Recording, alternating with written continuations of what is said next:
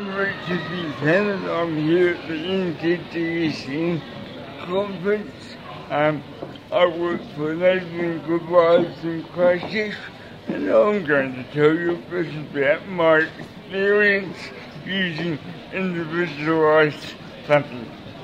I've been using individualized funding now for 12 years. Individualized funding allows me to lead the lifestyle that I enjoy.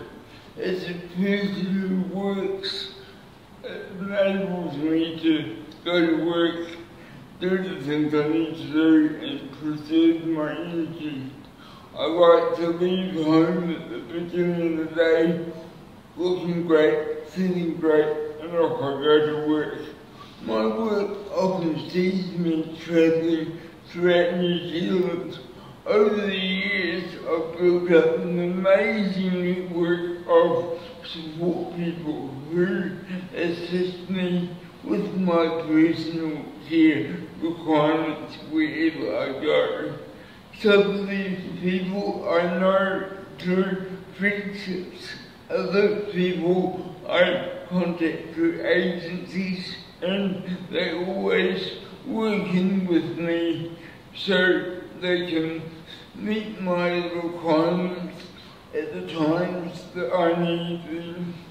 This gives me great flexibility and means that I can use my individualized funding in flexible and effective ways.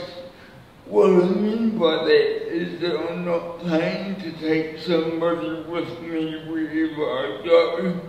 Instead, I make the conscious sacrifice, I guess, to have lots of different people come into my life from time to time wherever I go. This works really well for me.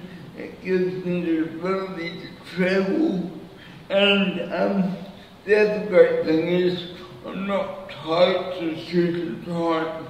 So if I have a meeting late at night or I'm going out for a meal with colleagues or friends, I can do that knowing that my support person is able to come and help me later.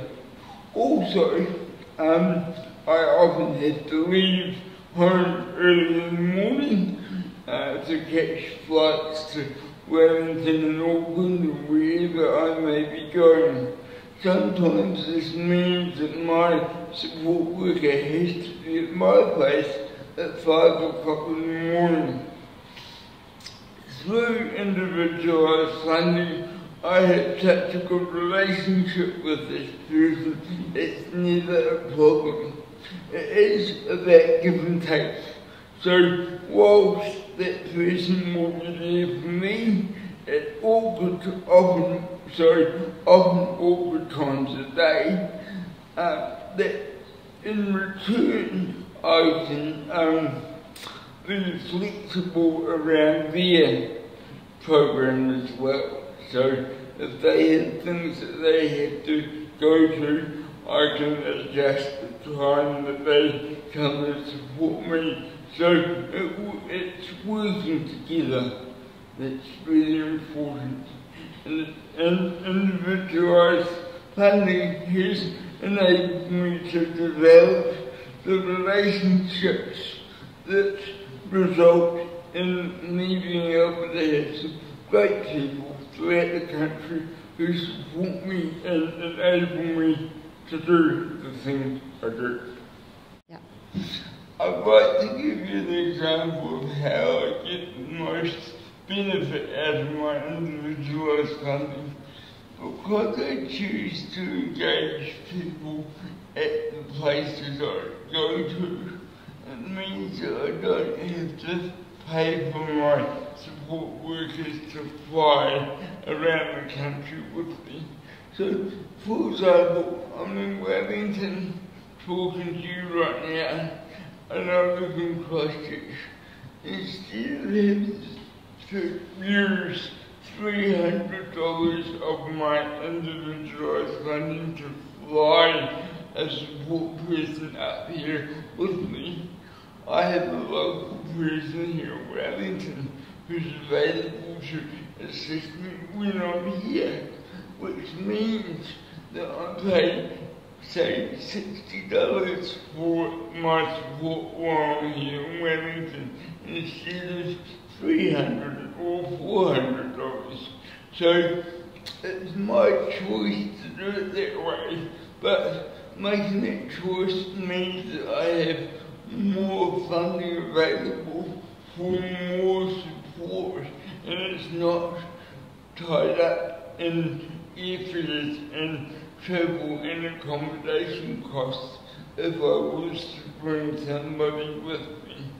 Whilst I appreciate that some people may find it easier having someone with them all the time, for me right now that is not a necessity and that's why I deliberately choose to, to strike up relationships with support people um, in the towns and cities that I go to uh, because that's where I can get the maximum benefit from the funding that I have available for my support.